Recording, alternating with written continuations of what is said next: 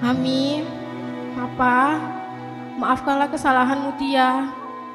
Ridhoilah pernikahan Mutia, karena hanya dengan ridho kalian, Allah akan meridhoi pernikahan Mutia.